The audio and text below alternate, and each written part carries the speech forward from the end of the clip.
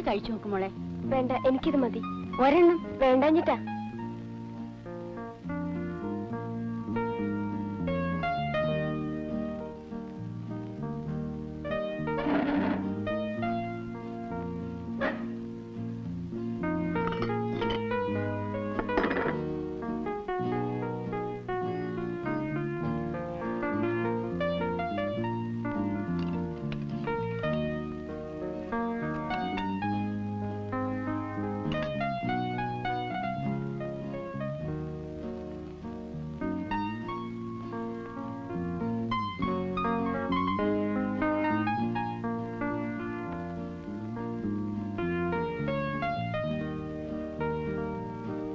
എനിക്ക് ചില കാര്യങ്ങൾ അറിഞ്ഞാൽ കൊള്ളാവുന്നുണ്ട്.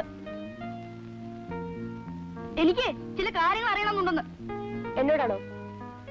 ഇവിടെ ഇപ്പൊ വേറെ ആരാ ഉള്ളത്? അമേരിക്കയിലെ വിദ്യാർത്ഥികളൊക്കെ വർഗബോധമുള്ളവരാണോ മൈൻഡ് യു മാനസ് എന്താ? കഴിച്ചോണ്ടിരിക്കുമ്പോ സംസാരിക്കുമെന്ന് അറിയില്ലേ? അറിയില്ല. പോയി പഠിച്ചിട്ട് വാ. ഇവിടെ ഞങ്ങൾ അങ്ങനെ സമയവും സന്ദർഭവും ഒന്നും നോക്കാറില്ല. സംസാരിക്കാൻ. സ്റ്റോപ്പ് ഇറ്റ് ഭയങ്കര ജാറയാണല്ലോ വേണ്ട വേണ്ട ഞാനൊന്നും പറയുന്നില്ല.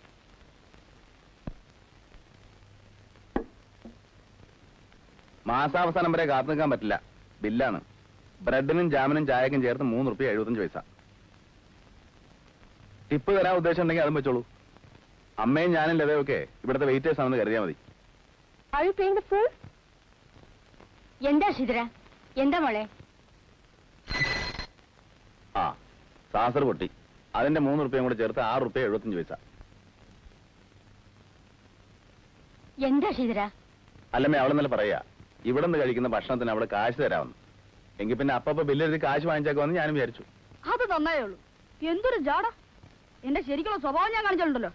എന്നിട്ട് പോടാ? ഒരു കാര്യം പറയുന്ന സമ്മതിക്കില്ലേ? ഇല്ല.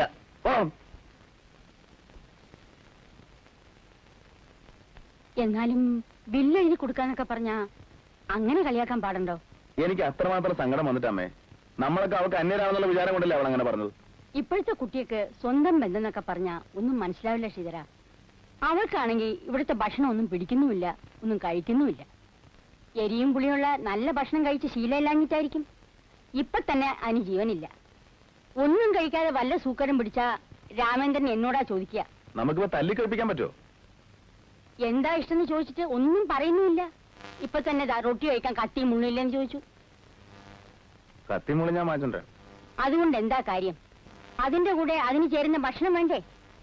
പരിഷ്കാരമുള്ള ഭക്ഷണം ഉണ്ടാക്കാൻ നീ വല്ലവനെ വിളിച്ചോണ്ട് വാ. പരിഷ്കാരമുള്ള ഭക്ഷണം? എന്ന് വെച്ചാ കത്തി മുള്ളും ഉപയോഗിച്ച് കഴിക്കാൻ പറ്റുന്ന ഭക്ഷണം. അതൊക്കെ പിടിക്കുമായിരിക്കും. അതിനിപ്പോ ആരെ കിട്ടുക?